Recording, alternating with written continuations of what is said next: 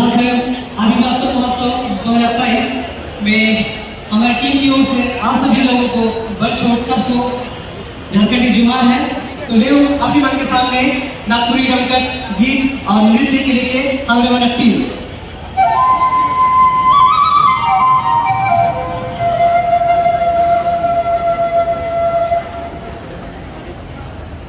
Thank you.